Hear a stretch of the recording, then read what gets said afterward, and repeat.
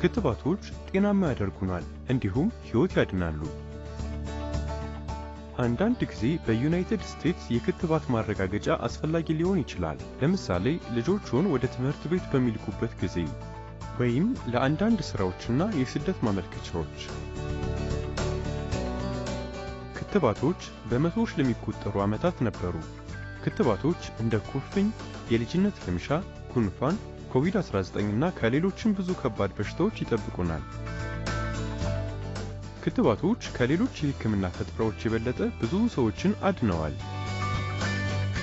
ክትባቶች የሚሰሩት እንዴት ነው? ክትባቶች ደህንነታቸው የተጠበቀና በሽታን የሚከላከሉ ናቸው። እንደ ባክቴሪያና ቫይረሶች ያሉ ተዋሲያንን ለመለየት የሰውነትዎን የበሽታ ተከላካይ ሥርዓት ያዘጋጃሉ።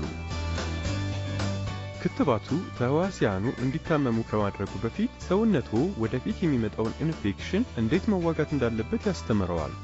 አንድ ልጅ እንዴት ማንበብና መጻፍ እንዳለበት እንደሚማር የሰውነት በሽታ ተከላካይ ሥርዓት ከእያንዳንዱ ክትባት ስለ በሽታው ዝርዝሮች በማንበብ ያስታውሳል። የክትባቶች ጊዜ፣ ድግግሞሽ እና መጠን ይለያያል። ለምሳሌ አንዳንድ ክትባቶች አንድ ሰው በሕፃንነት ወይም በልጅነት ጊዜው ቢወሰዱ የተሻለ ነው። ሌሎች ደግሞ አዋቂ፣ አረጋዊ ወይም ነፍሰ ጡር በሚሆኑበት ጊዜ ይወሰዳሉ። አንዳንድ ክትባቶችን አንድ ጊዜ ብቻ መውሰድ ያስፈልገውታል። እንደ ጉንፋን ክትባት ያሉትን ሌሎች ደግሞ በየዓመቱ ይወሰዳሉ። ወደ አንድ ልዩ ቦታ በሚጓዙበት ጊዜ የሚወሰዱ ክትባቶች ሊኖሩ ይችላሉ።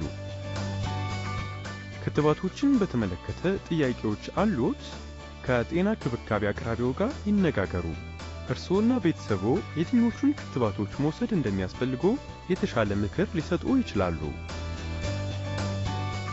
ያስታውሱ፣ ክትባቶች ደህንነታቸው የተጠበቁ፣ ውጤታማ እና ሕይወትን የሚያድኑ ናቸው። አብዛኛዎቹ ማህበረሰቦች ክትባቶችን እንደ የወደፊት ተስፋ ምልክቶች ይመለከቷቸዋል። ራሳችንን እና የምንወዳቸውን መጠበቅ ከምንችልባቸው የተሻሉ መንገዶች ውስጥ አንዱ ክትባት ነው። ዛሬውኑ ሐኪምዎን ያነጋግሩ።